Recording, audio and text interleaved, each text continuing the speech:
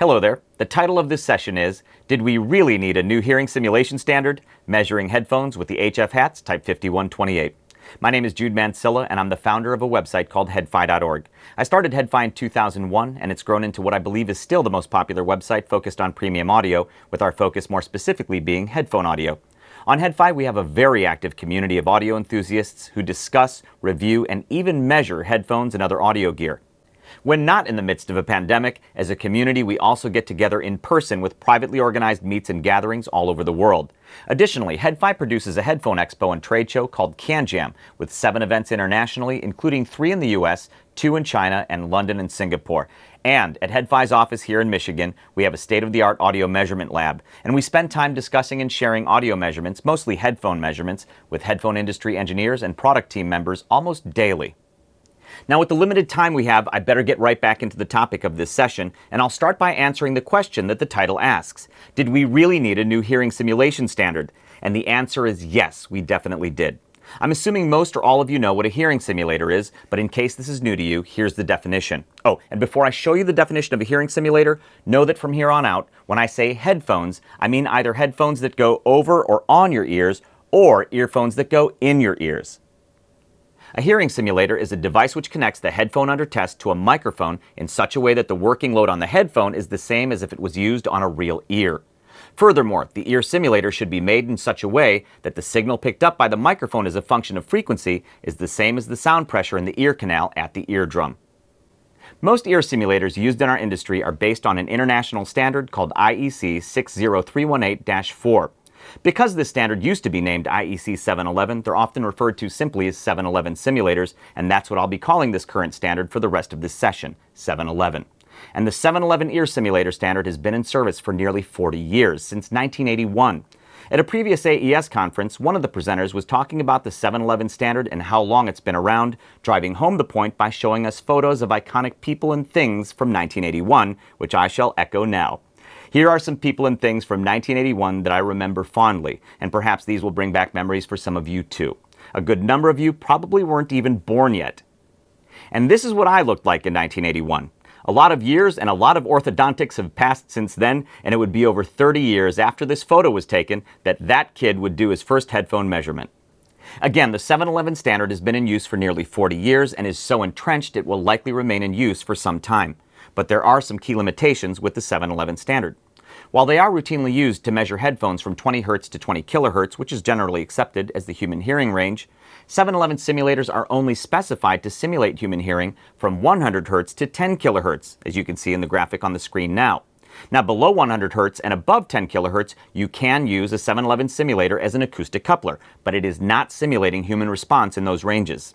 This limited range was more than adequate 40 years ago when the focus for this type of test and measurement were often things like hearing aids and telecom devices, but high resolution devices in the decades since routinely cover and often exceed the range of human hearing.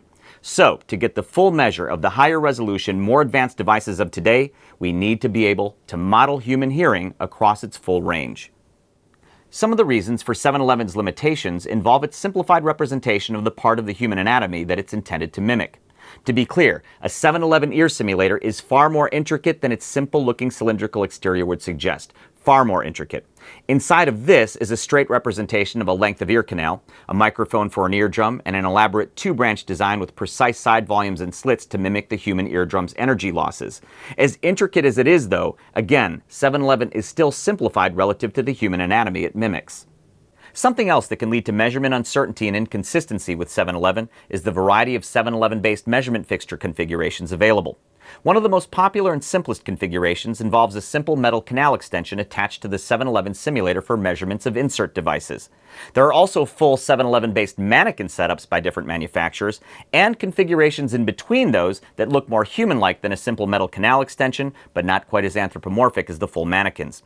While this flexibility in terms of configurations can be helpful functionally as well as in terms of budget, it can also contribute to seemingly arbitrary variations in measurement results.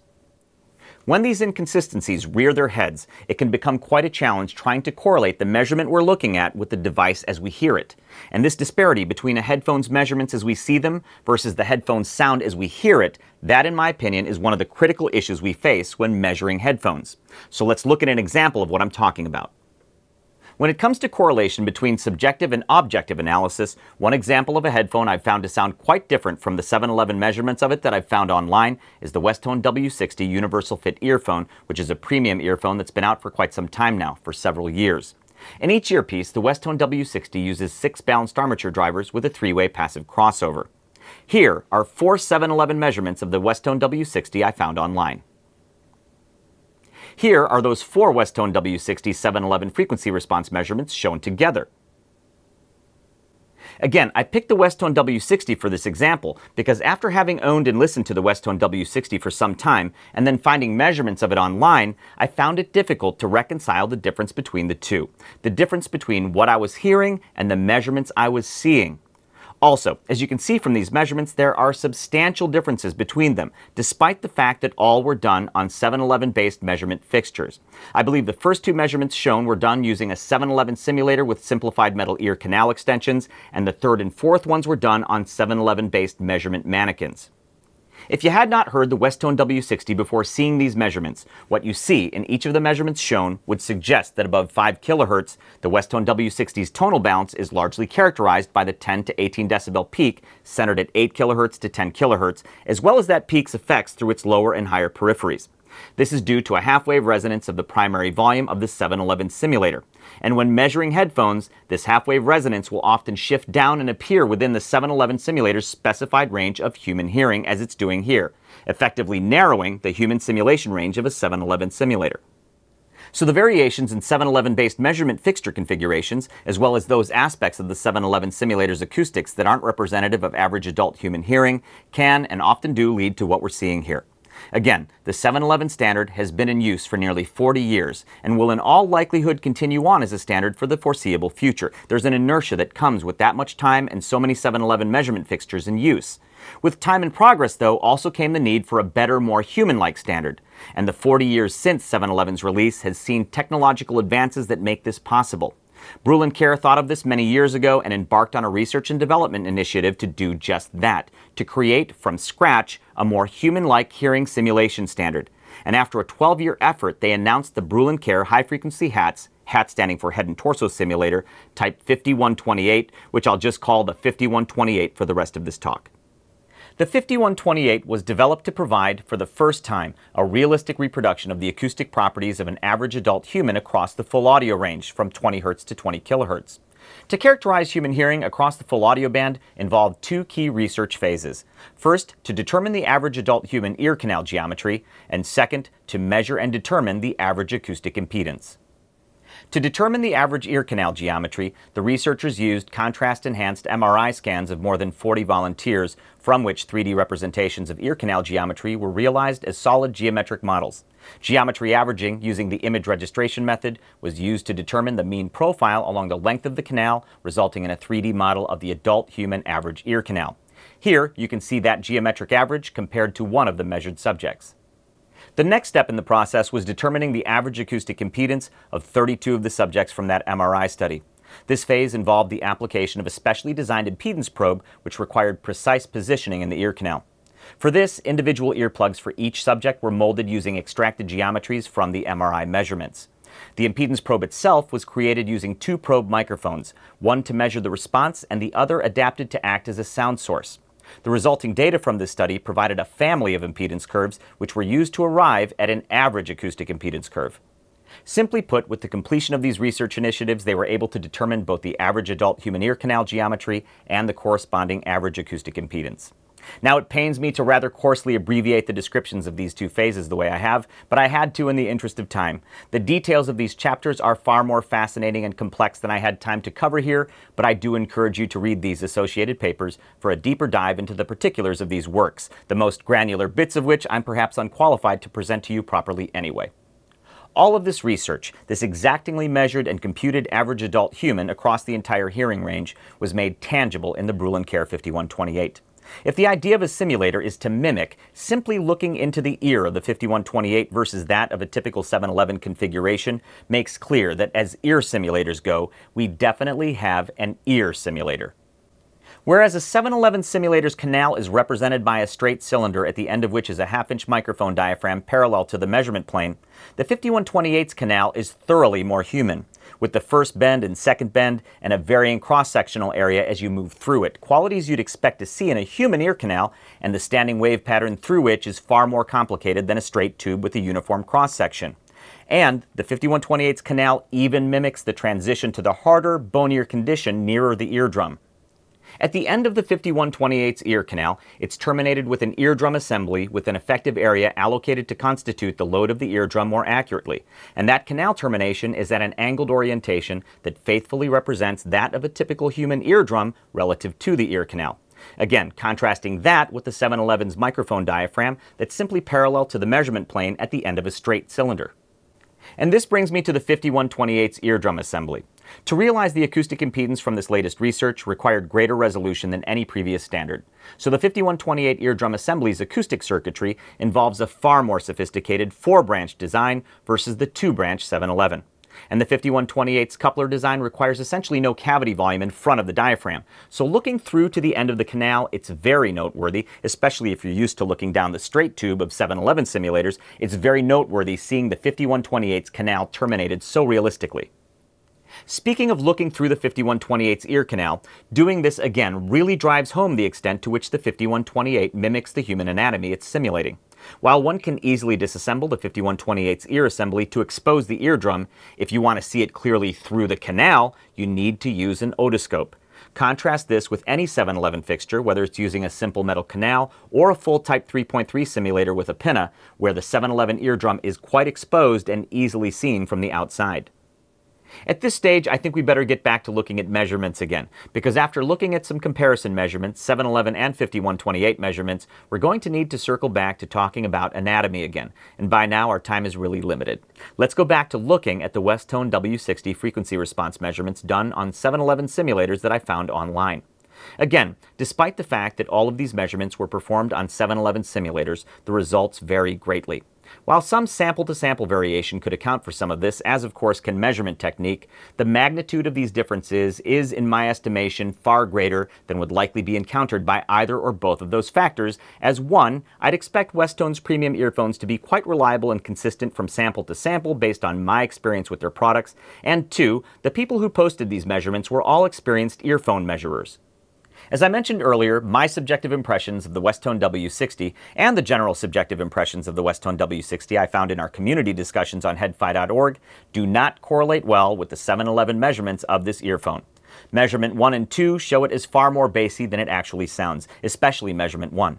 And all have the 711's high magnitude resonance defining much of the treble.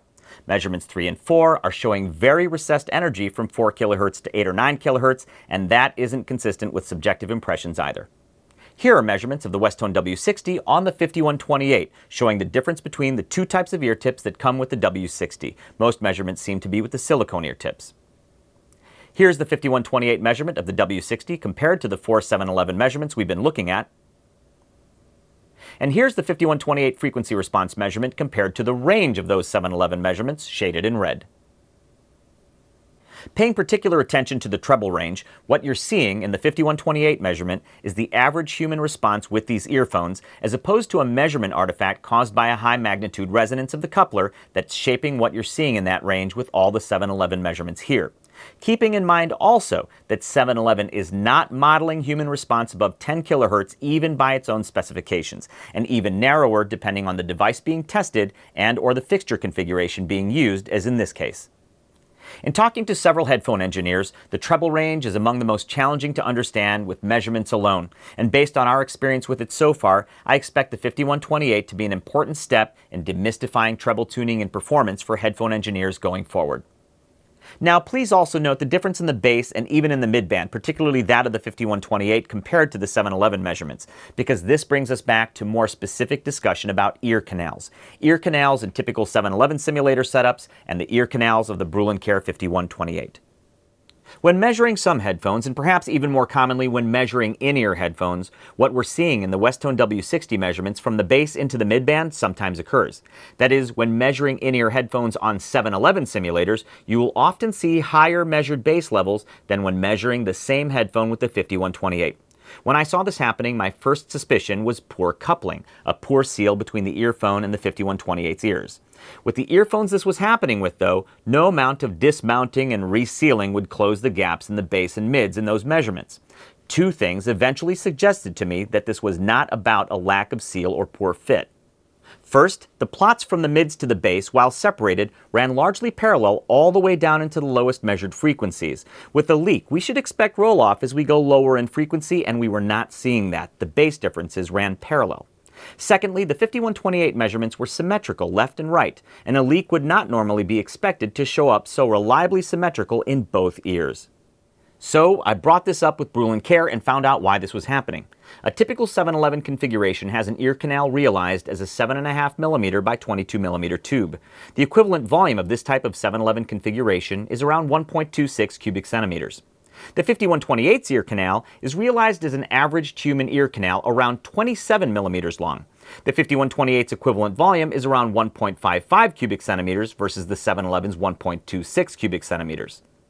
Since 711 was established nearly 40 years ago, we've come to better understand the dimensions of the human ear canal all the way to the eardrum, using ex vivo cadaver studies, as well as more advanced scanning studies like Brüel & Kjær did with the MRI study. The length range of the adult human ear canal is around 22 millimeters to 31 millimeters, so a 711 is in fact smaller than the average adult human ear canal. Actually, it's closer to the bottom of the range. Please ask me more about this topic in the Q&A and discussion because there is very interesting corroborative, supportive data completely unrelated to Brüel & Kjær's work with the 5128. Anyway, by way of a very specific example of what this means, Brüel & Kjær estimated the remaining volume in front of an inserted earphone with both types of fixtures. In this case, the earphone was the Etymotic ER4. Inserted into a 711 simulator, there was around 575 cubic millimeters ahead of the inserted ear tip but inserted into the 5128's ears, there was around 750 cubic millimeters ahead of the inserted ear tip. A receiver radiating into a small enclosure will generate a sound pressure inversely proportional to the volume of the space. So with the 711, there's less space, and so there's more pressure, and that's what we're seeing here. And the higher the acoustic output impedance, that is, the more closed the device under test is, the more something seals the canals, the more likely you are to see this. As you can see here, with an open back over-ear headphone, in this case the Focal Clear, the bass levels on the 5128 are the same as with the 711. The other differences are interesting though, aren't they? Again, we can show more measurements during the Q&A and discussion. So it all depends on the particular headphone you're testing. Some open back over-ear headphones show more bass differences. Some in-ear headphones have similar bass levels. Again, the only way to know for sure is to measure, but I feel confident whatever you're measuring, you're getting a more human-like response with the 5128 versus any previous standard. I'm out of time for this part of the session, so I want to end it with this quote from the late Edgar Shaw. It's a long quote, so let's focus on the bolded parts. It is useful to divide the acoustic antenna system into its functional components. The head, the torso, and the pinna flange acting as diffracting bodies, the concha and the ear canal serving as acoustic resonators, and the eardrum providing an acoustic termination. But these components must always be seen as parts of an integrated system. And that's what the Brüel & Kjær 5128 provides. The 5128 is the average human in terms of hearing simulation, an integrated system. The 5128 pinna, canal, and eardrum are a cohesive unit, the simulation of average adult human hearing embodied within that system. You don't attach and detach canals and other miscellaneous bits and pieces to them. No matter what you're measuring on it, headset, handset, headphone, earphone, you're measuring that average human's response to all of them. And with that comes much greater realism accuracy, consistency. Thank you for watching.